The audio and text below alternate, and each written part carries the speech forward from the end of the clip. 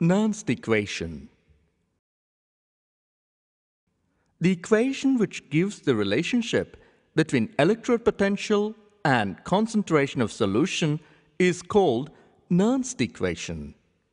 For a general electrode reaction, Mn plus aqueous plus Ne minus gives M solid.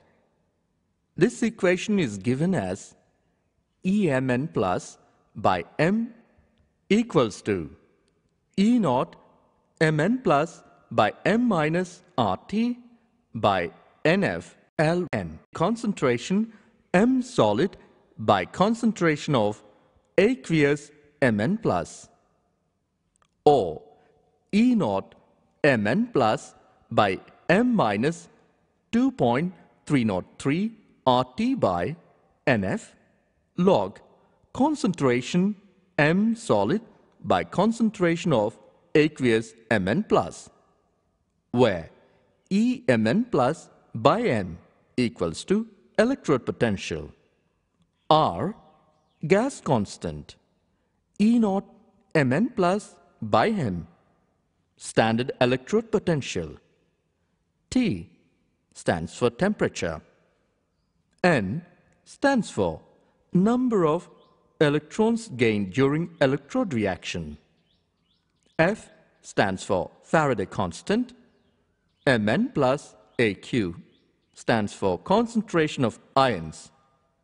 Ms stands for concentration of metal.